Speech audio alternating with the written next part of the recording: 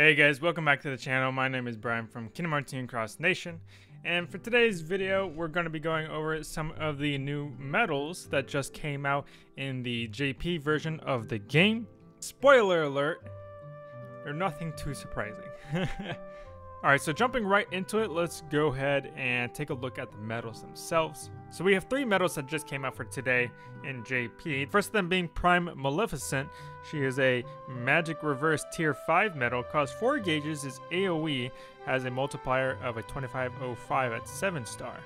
Deals 13 hits that ignore target's attributes, and for one turn raises the reverse strength by 3 and special attack bonus or guilt bonus by 120%. And this is at the 7 star version.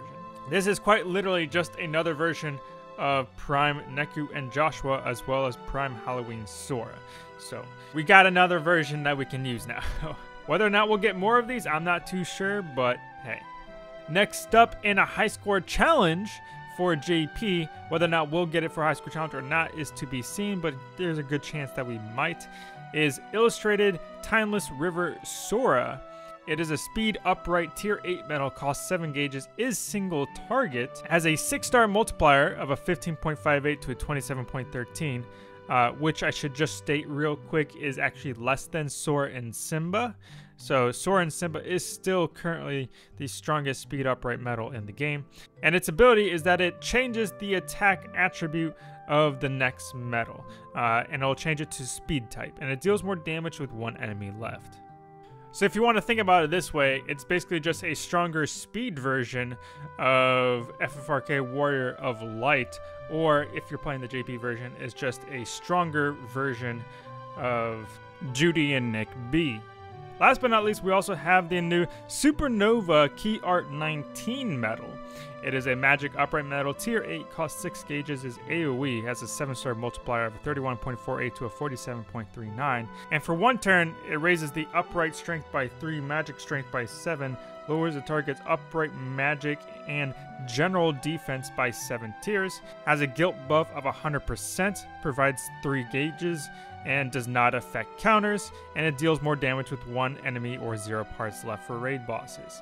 In a nutshell, it's basically just a magic upright version of Supernova Sephiroth. So it's worth noting that aside from the high score challenge Timeless River Sora uh, medal, that for the other two medals, they did come in JP in a banner deal, which is basically just another version of the Halloween Sora banner deal that we had before, where you're guaranteed a copy of the Prime Medal every single pull, with at the 5 Mercy pull being the 7 star version of the Prime Medal, and the Supernova Medal is a non Mercy pull.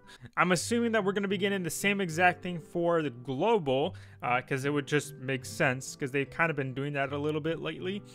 But if this does end up being the case, my general consensus about it is going to be the exact same as it was last time, as it was for Halloween Sora.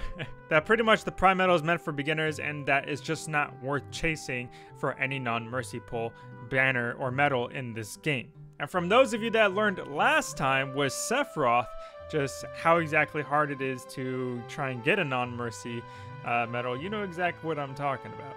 But other than that, that was it for today, guys. I just wanted to review some of the newest medals that came out in JP. Go ahead and let me know what your thoughts and opinions are in the comments section down below. But other than that, if you enjoyed the video, please leave a like and subscribe and hit that bell button. It is the best way I know when to upload more videos such as this one.